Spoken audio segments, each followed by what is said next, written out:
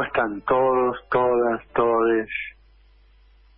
¿Cómo están? A veces hago el esfuerzo mental de, querer percibir, sentir, aún imaginar sus rostros, eh, imaginar para enseñar, estarán en la cocina tomando mate, en el taxi, en el colectivo, en la calle, eh, ahí, donde estén.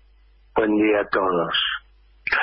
Bueno, como yo volví de la noche oscura del coronavirus y uno trata de entender qué carajo pasa en la realidad argentina, lo mejor es levantarse tempranito, poner Radio Mitre, escuchar a Longobardi, y ahí va a tener la agenda de la derecha neoliberal conservadora pro-norteamericana. ¿No? Cuando uno necesita entender en qué está la Argentina o qué pasa en la Argentina, hay que ir a el principal vocero de los medios hegemónicos a, a ver qué pasa, escucharlo. Y lo escuché. Y bueno, Longobardi arrancó denostando a los funcionarios de salud de Nación y de Provincia de Buenos Aires, a Ginés González García y a Creplan, ¿no? Este, acusándolos de burócratas, de ineptos, de insolventes, de mierda, mierda, mierda, mierda. Por supuesto, al decir de Longobardi, encaba los números, la atención y la propuesta es de maravilla. Digo, un, política barreta, denostar a los ajenos y ensalzar a los propios. Los ajenos son los del frente de todos, los propios son los macristas de Cambiemos. El segundo tema que agarra con fuerza es pide que Venezuela sea declarada una dictadura. Este, y le parece insuficiente el planteo de Solá que dijo que Venezuela era autoritaria. Planteo pelotudo el de Solá, hay que decirlo con toda claridad. El kirchnerismo no respalda las declaraciones del canciller. Nosotros creemos que la revolución bolivariana está hackeada este, por el imperio norteamericano, eh, que la única intencionalidad que tiene para con Venezuela es volver a robar el petróleo, el petróleo que en la Cuarta República antes de Chávez eh, eh, Estados Unidos se llevaba de Venezuela 6 dólares el barril. Entonces, siempre hay algún argumento para, para bueno, este, tratar de macartear a Venezuela como otrora lo hacían con, con Cuba y con tantos otros, ¿no? Eh, como Alicia Castro salió a, a cruzarlo al canciller Solá, este, mi querida amiga Alicia Castro, talentosa, brillante, comprometida, este, una mujer extremadamente culta que paradójicamente viene del eh, sindicalismo combativo de la Asociación Argentina de Aeronaveantes, ¿no? sindicato del cual fue muchos años secretario general. Dijo dos cosas que me parecieron una canallada. La primera dijo que que ponía en tela de juicio a Alicia Castro porque ella alguna vez había tenido alguna relación, algo así como de amante, del general Hugo Chávez. Eh, y segundo, que por esta posición hay que retirar el pliego y que no hay que nombrarla este, embajadora argentina en Rusia. Primero, ¿quién carajo es Longobardi, no? Segundo, este, me parece una opinión de poquísimo calibre político y de poco hombre este, descalificar a una mujer por sus relaciones personales, ¿no? una cosa bien de sorete, bien de mierda. Eh, por supuesto, Marcelo Longobardi defendió a los buitres, a los tenedores de bonos argentinos, que por supuesto están en contra del desarrollo y el crecimiento argentino, y, defendió particularmente al fondo norteamericano BlackRock, ¿no?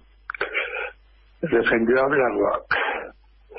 Este, como corresponde a la agenda de la derecha, defendiendo intereses antinacionales, este, que atentan evidentemente contra el progreso de nuestra sociedad, el progreso económico fundamentalmente. Ahora, este, ¿cuánta sarta de pelotudos has, es? Escúchale, eso sin el más mínimo espíritu crítico, sin parar la oreja y decir, loco, ¿a quién defiende este tipo? ¿Qué intereses defiende? ¿Qué tienen que ver los intereses que este tipo defiende con mis intereses? Por supuesto, defiende la privatización de Sur, el pésimo desempeño de Denor, ve como una amenaza la estatización estratégica de los servicios públicos, servicios públicos que el macrismo se encargó en su momento de dolarizar sus tarifas y jamás mejorar un solo servicio y hoy, sobre todo el Sur, este, lastima a sus, a sus usuarios con los cortes permanentes en medio de en, medio de, del invierno más cruel, ¿no?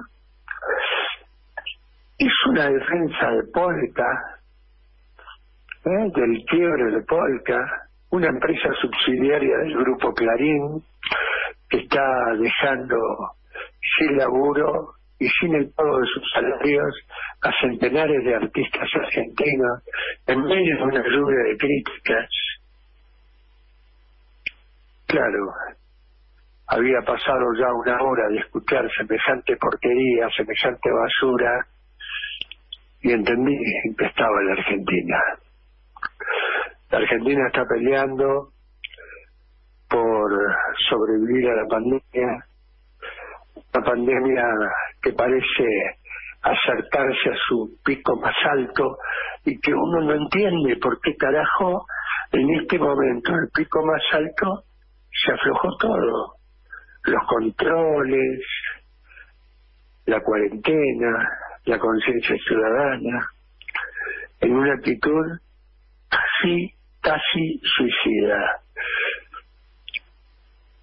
Y sigo diciéndoles, me preocupa la salida. ¿Qué vamos a hacer con 15 millones de argentinos que quedaron literalmente afuera, que fueron arrasados por la pobreza, por la pandemia, por el desastre? Por supuesto, Longobardi va a tratar de decir permanentemente como metamensaje que la pandemia es culpa de Alberto Fernández, ¿no?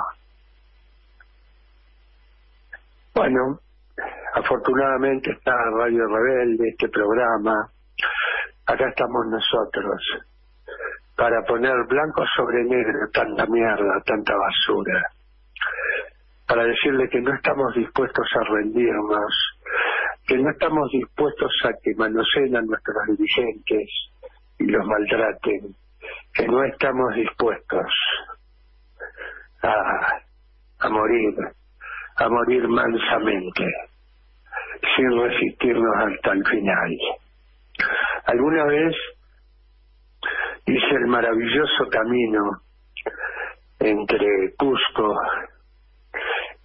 el mismo lugar donde mataron a Tupac Amaru, a Tupac Atari, entre Cusco y Machu Picchu. En ese camino pude entender el sentimiento más profundo de un pueblo que luchaba por su liberación. Rescato con toda la fuerza de la memoria y de la mística argentina al general Belgrano cuando propuso que el primer emperador del continente tendría que ser un inca. Digo, más allá de lo acertado, este, cuántas cosas hay que tener en el corazón para reconocer que, que de afuera siempre nos vino la tragedia, siempre nos vino la tragedia, mezclada, mezclada como el agua y el barro. Los convoco a estar unidos, a estar conscientes, a estar con la cabeza despierta, con el espíritu crítico alto. Los convoco a la vida, los, los convoco a enfrentar la muerte en cada rincón, en cada hora, a cada momento, con cada personaje. Siempre la vida. Que tengan buen día, hasta mañana, o hasta lunes, y que tengan un hermoso fin de semana, a pesar de todo.